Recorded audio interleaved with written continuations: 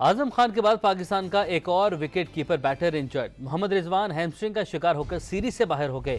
New Zealand के खिलाफ तीसरे टी में मोहम्मद रिजवान हैमस्ट्रिंग इंजरी का शिकार हुए और रिटायर्ड हर्ट होकर मैदान से बाहर चले गए। डॉक्टर्स ने रिजवान को सीरीज़ ना खेलने का मशवरा दिया है। आज़म खान पहले ही बाहर हो चुके हैं, जिनकी जगह हसीबुल्ला को शामिल किया गया है। पाकिस्तान और न्यूजीलैंड तीसरे टी ट्वेंटी में मद्दे मुकाबिल है। कौमी टीम का न्यूजीलैंड को एक रन का हदफ, जिसके ताकू में कीवी टीम की बैटिंग जारी है। रावलपिंडी में खेले जा रहे तीसरे मैच में बाबर आज़म और साइम अयूब ने 55 रन का आगाज़ फराहम किया। साइम बत्तीस और बाबर सैंतीस रन बनाकर आउट हुए। मोहम्मद रिजवान ने तेईस रन बनाए थे कि रिटायर्ड हर्ट होकर मैदान से बाहर जाना पड़ा। खान खान ने नाकाबिल शिकस्त, तीस रन बनाकर स्कोर चार्ट विकेट पर एक रन तक पहुँचा दिया। आज़म खान के बाद पाकिस्तान का एक और wicket keeper batter injured Mohammad Rizwan hamstring का शिकार होकर सीरीज़ से बाहर हो गए। न्यूजीलैंड के खिलाफ तीसरे टी में मोहम्मद रिजवान हैमस्ट्रिंग इंजरी का शिकार हुए और रिटायर्ड हर्ट होकर मैदान से बाहर चले गए। डॉक्टर्स ने रिजवान को सीरीज़ ना खेलने का मशवरा दिया है। आज़म खान पहले ही बाहर हो चुके हैं, जिनकी जगह हसीबुल्ला को शामिल किया गया है। पाकिस्तान और न्यूजीलैंड तीसरे टी ट्वेंटी में मद्दे मुकाबिल है। कौमी टीम का न्यूजीलैंड को एक रन का हदफ, जिसके ताकू में कीवी टीम की बैटिंग जारी है। रावलपिंडी में खेले जा रहे तीसरे मैच में बाबर आज़म और साइम अयूब ने 55 रन का आगाज़ फराहम किया।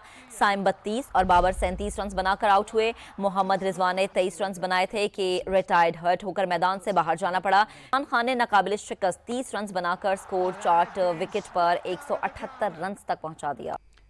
आज़म खान के बाद पाकिस्तान का एक और wicket keeper batter injured Mohammad Rizwan hamstring का शिकार होकर सीरीज़ से बाहर हो गए। न्यूजीलैंड के खिलाफ तीसरे टी में मोहम्मद रिजवान हैमस्ट्रिंग इंजरी का शिकार हुए और रिटायर्ड हर्ट होकर मैदान से बाहर चले गए।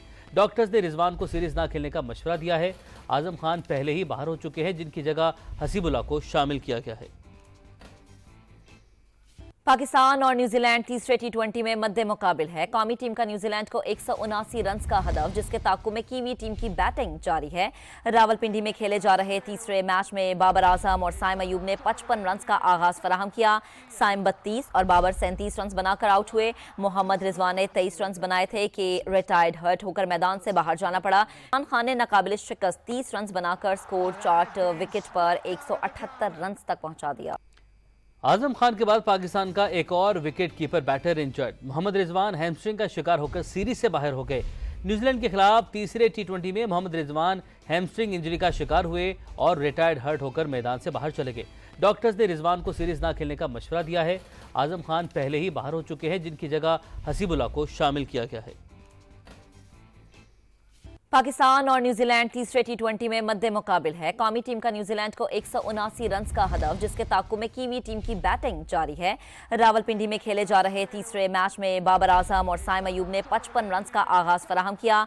साइम बत्तीस और बाबर सैंतीस रन बनाकर आउट हुए। मोहम्मद रिजवान ने तेईस रन बनाए थे कि रिटायर्ड हर्ट होकर मैदान से बाहर जाना पड़ा। खान खान ने नाकाबिल शिकस्त, तीस रन बनाकर स्कोर चार्ट विकेट पर एक सौ अठहत्तर रन तक पहुँचा दिया।